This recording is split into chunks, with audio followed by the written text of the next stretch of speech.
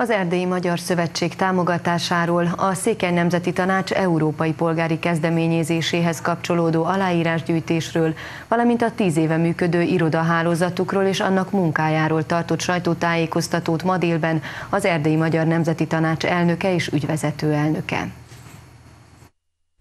Stratégiai partnernek nevezte Tőkis László az EMNT elnöke az Erdélyi Magyar Néppártot, amely a Magyar Polgári Párttal közösen alapítaná meg az Erdélyi Magyar Szövetséget. Tőkis László elmondta, komoly szándékra és változásra volt szükség ahhoz, hogy a két párt újra egymásra találjon. Most örömmel látom, hogy, hogy ami dekonstrukció miatt ö, gyengült le, az most rekonstrukció révén erősödik fel.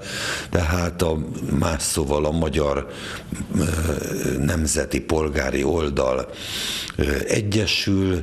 Hozzátette, örülne annak, ha az Erdélyi Magyar Szövetség az erdélyi magyar politikában a politikai ellensúly szerepét tudná betölteni. Ha kellően erős a nemzeti egységre való törekvés és következetesek a képviselők, akkor az MPP Maros megyei elnökének lemondása sem befolyásolhatja a fúzió létrejöttét. Sándor Krisztina ügyvezető elnök a sajtótájékoztatón az idén tíz éves EMNT Demokrácia Központ hálózatáról beszélt.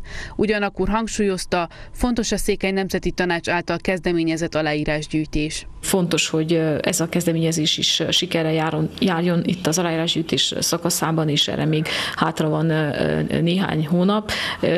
Az a fontos, hogy nekünk Erdélyben minden megyében van legalább egy irodánk Székelyföldön, meg minden széken, úgyhogy elérhető a segítség. Hozzátette, jelen pillanatban az SZNT által összegyűjtött aláírások száma meghaladta a százezret, de az egymillióhoz képest ez viszonylag alacsony szám.